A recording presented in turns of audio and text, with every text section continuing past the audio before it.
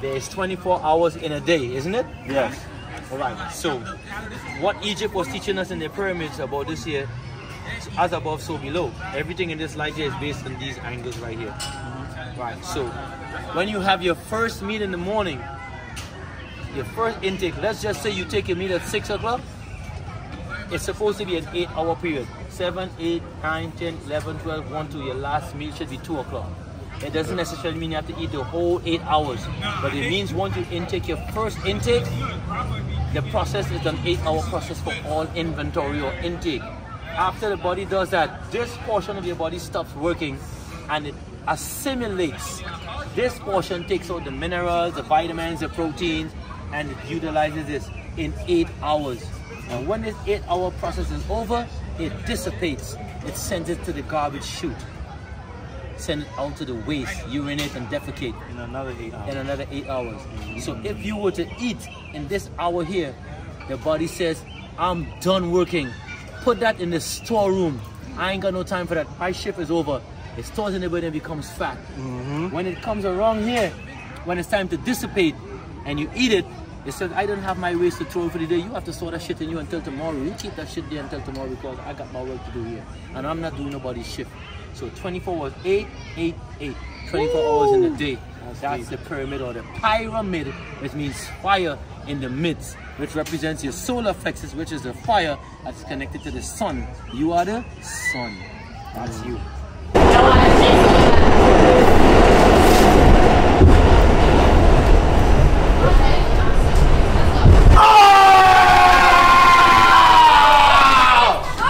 So that's your 24 hour intake. Once you follow that pattern right there, that's the key to everything for your well-being. Shit, where did you where did you where did you learn that? Though? Yeah, where did you learn that? Um, my brother, I have a brother that studied with, studied with Dr. Sebi and other brothers. Like um, one of the brothers did something called a Metu Neter, and um, he dedicated a lot of his time into doing extensive research on his own. And coming up with that, we found out a lot of information from other places like Egypt and other countries where these people in them are very big on their diet and their health. So my brother dedicated his time to studying this, and um, I was fortunate to be able to be around him and was also interested in it and started to impart these different things as well as give me research to show and prove what I was saying was something that was relevant to our well-being. So, so say you wake up at nine and you eat at 10 a.m. Now you have an eight-hour window to be able to eat. Right. And then after 10, 11, 12, 1, 2, 3, 4, 5, 6 p.m. now, you shouldn't eat after that No. because you have another eight hour to be able to assimilate the food to to go assimilate down. Yeah. all the minerals, all the vitamins, all Take the protein, all has to need, that you separate themselves. Yes, yes. So when you do that now, the body stores it. That's how you get fat because the body said, I'm done work, man. I'm done putting my eight to four. What the hell you giving me all this work for? Let the next shift do that. I'm not with that. But this shift said, well, that's not my job. I ain't got nothing to do with that either. This guy, that's his job. So he's gonna come down here. And that's why most of us get disease or disease because it stores in the most important part of our body, which is here, the digestive system. So the food stays overnight and you get gas and you get all farting all over the place and all this shit from the excessive gas because now it went to the wrong department and this department here is about throwing away the waste, not saving it. It done putting its motion and what it has to do for the day. It has its assignment and now you are breaking the assignment. When you do that, your body become dis-ease, discomfort. And that disease goes to the weakest part of your organs and becomes a disease. What do you think about meat? Um, Eating meat. eating meat, I mean, we have the incisors for eating it, and I'm not telling you not to eat it. However, the process in which the meat is being done is not healthy. Why? Because they kill the animals, they traumatize the meat. When the meat is traumatized, it releases something called uric acid. Uric acid does not digest in the human body. That's why they get this goiter and the swelling of the joints. Mm-hmm. Uric acid cannot digest in the human system.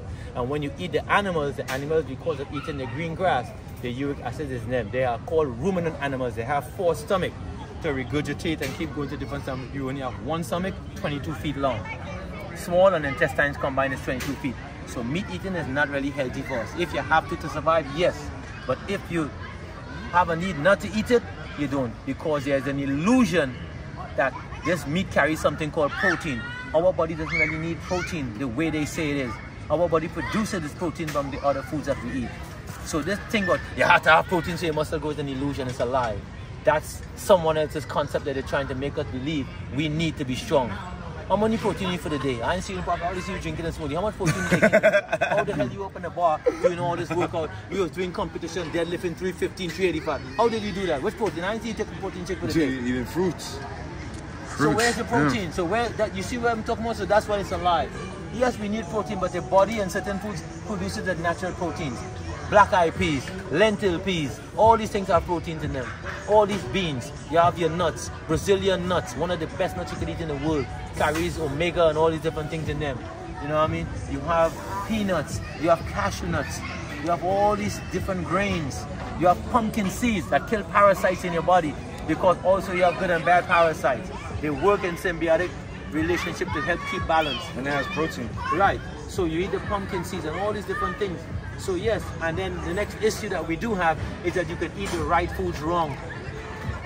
Meaning that there's a timing to eat certain foods. And if we don't eat it in the right time, it could still cause the same effect. Because it is a timing. There's a reason the sun don't wake up, the sun don't start at 7 o'clock in the night. The sun rises at a certain hour, right? And a certain time the moon regulates. It's all a timing. And so should your eating be. You feel what I'm saying? So if you're eating in the right timing and eating the right food, you get the full and exact effect what you need. For instance, like fruits. Most fruits should be eaten before the 12 o'clock period because those fruits are melanated at that time. It's melanin. So when after it after it passes that sundial of 12, 1 o'clock, 2 o'clock, it changes it into sugar. That fruit now, that sweetness in the fruit is a sugar. So, so quick question, right? You said um, you said like the eight hours, right? Mhm. So, do you think that these eight hours, where it's like, um, I guess that's when for you to, you said the next eight Assimilate. hours. Assimilate. Take Take it all the take proteins. Yeah, yeah. You can, you think it's possible to eat Yes, you can. Okay. But I'm saying you would not get the, you would get a different effect from it. If you eat it in this period here, you're gonna get something that we all know as alkaline. And if you ask most people, what is a, if I ask you right now, what is a balanced diet? What would your response be? In eating food, what is a balanced diet consist of? Anyone know? Do you? Give me a, alkaline here, but what percentage of alkaline? And what else goes with the alkalinity to make it a complete meal? A complete meal is consists of 80% alkaline and 20% acid. Any food that you eat that is 80% alkaline and 20% acid is a balanced diet. We are alkaline beings. Acidity causes inflammation. There is only one disease inflammation. Arthritis is inflammation in your blood. Asthma inflammation in your lung. Alzheimer's inflammation in your brain. And we can keep going on. All inflammation inflammation, is the only sickness that the body suffers. So if you do the things that avoid information, you're gonna have a long, healthy, prosperous life, bro. Only thing that's be something tragic that you don't know about, but you have your natural life, your history of living is gonna way past the hundreds of years, bro. Because your body will be in pristine shape to function the way it should, in total balance with the symbiotic relation of Earth. The magnetism I'm talking about, we're electromagnetic beings. Remember I said that? So this is what we do.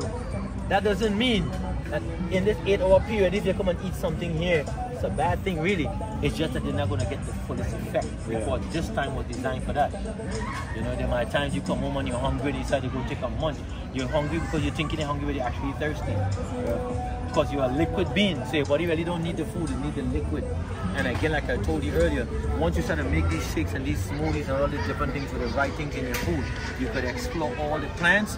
I make smoothies with the plant and I make H3O2 with the fruits.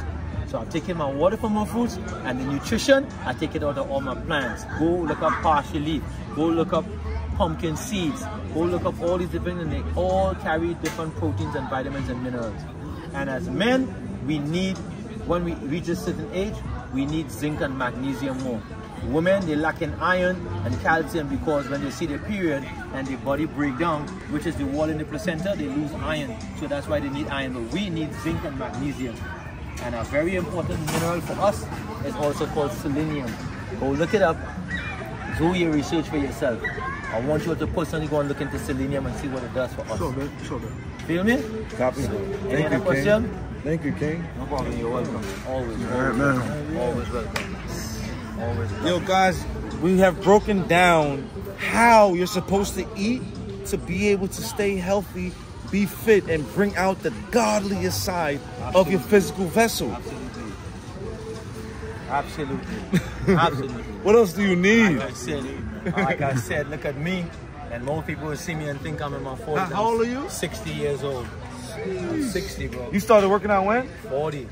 At the age of 40. So this is 20 years in the making right now. And like I said, I was bigger than this, but I'm healthy. Now I'm light. Yeah, I like this. Yeah. Let's go. 60 years old, guys. 60 and fit. Check them out. Park full. Park 4, man. Check them out, y'all. 60 and fit, y'all. Check them out. Flexing. Flexing on the ball. What are you doing eating all this processed foods? Not understanding what time you're supposed to eat. Like that. No Gotta do up. these. Straight. Straight. No warm up. Just like that. So guys, man, make sure you guys like and subscribe, man, and also come to Wingate because that's where you're gonna find, you know, OGs, the original And that's gods. the gate to that's what we mean by OGs, man. The original gods, man. That's where why you're it's gonna find called them. Win Gate. Yeah. When you walk through that gate, you're a winner. Yeah, that's it. That's right. Over and out. Let's go. Peace.